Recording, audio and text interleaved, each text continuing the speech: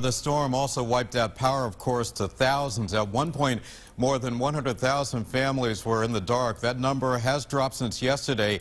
Right now, Eversource still, though, reporting more than 67,000 outages. And you can see all the towns highlighted in this map right behind me. The darker the color, the more outages. Thousands of families, places like Newtown, New Fairfield, and Southbury dealing with the issue. Meantime, more power is beginning slowly but surely to be restored in Hamden, But the cleanup is still a very, very slow process, and that's where we find News 8's Kent Pierce this morning. Hi, Ken. And Keith, I certainly don't have to tell you there is so much damage in the town of Hamden. We can only give you a little snapshot of it, but let me give you the picture we've got right here. This is Gaylord Mountain Road right behind us here. And you can see on the other side of that tree truck, there is a tree that snapped right in half, and the top half of it came down over Gaylord Mountain Road, got caught up in some wires. The wires are the only thing keeping it from being down on top of the road. Now, that tree truck only showed up here about a minute ago. We're not sure if it's here to actually fix this problem or if it's just trying to get down that road. Uh, be a little bit ironic if the tree truck had to turn around because of a downed tree. So we're going to keep an eye on that. Another ironic thing is we are right next to Broken Arrow Nursery, a place that grows plants and trees, and yet it has a problem with trees, these big ones that came down. This is one of several just in our line of sight here that we can see. Look at the size of that root ball. That massive tree coming down right on top of the smaller trees and plants growing behind there. And all over town, people are just amazed at the power of this storm. I mean, it kind of looks like a dinosaur came through and just knocked everything over. Property is always replaceable. People aren't. The UI guys look like they're working real hard and all the tree cutting guys. I just hope people realize that. And one of the things that people are dealing with all over Hamden, certainly a lot of trees hit their homes, causing holes in the roofs. And as Gil predicted yesterday, it's the last thing you need when you've got a hole in your roof, more rain, but that is exactly what we are experiencing overnight and this morning as well. Now you can see them uh, directing this uh, tree truck right here. Uh, I don't think he's here to fix this problem. I think the tree truck just couldn't get down this road because of a downed tree. If the tree truck can't get through, there's probably spots on your drive you're going to find that you can't get through this morning. So watch out for things like this trees and wires down, covering all or part of roads. Watch out this morning. The cleanup's still very much underway. We're live in Hamden. I'm Kent Pierce. Back to you.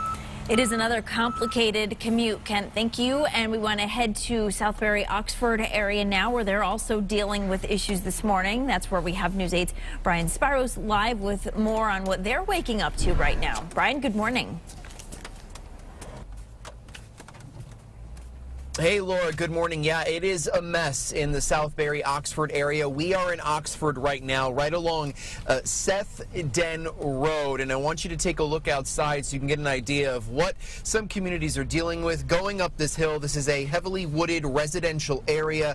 Um, some of the telephone poles are tipped over. A lot of trees are down. And then we come upon scenes like this. If you look directly ahead, you could see trees down, power lines are down. And this is just one area. We can't even get past this because of the Jeep that we're in uh, and the equipment that we have on top of it. Low, everything is very low lying in this area and uh, barely passable, as you could tell right now by the way everything looks. Scenes like these obviously going on across the state. This area hit very hard. As we know, the National Weather Service confirms that an EF1 tornado did touch down in the Southbury, Oxford area with winds right around 100 miles per hour. You could see the power lines here directly in front of us. This is just an absolute mess. Let's take a look at some of the reported photos that were sent in to us. Those will also give you an idea of the damage that was left behind. We were in Southbury just a short time time ago. Uh, the roads in some of those areas are so bad, uh, we couldn't stay there uh, because we couldn't be driving on them. We also had no cell service where we were,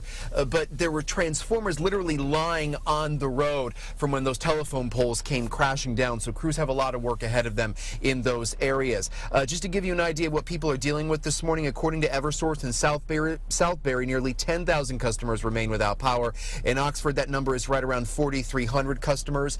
Driving up through Seymour, again Oxford uh, and Southbury. Many traffic lights at intersections are out. There are stop signs that were put there. I imagine it's going to be very hectic in those areas as we head through the morning commute. Um, and many of the businesses and the shopping plazas as well are completely dark, those areas without power. If we can come back live now, again, we are along Seth Den Road. Uh, this is a road that was uh, heavily damaged during this storm, trees and power lines down. So an absolute mess. The cleanup is underway. And I mentioned crews, utility crews and tree crews, and a lot of homeowners have their work cut out for them as we head through the coming days. Reporting live this morning from Oxford, I'm Brian Spiros. Laura, back to you.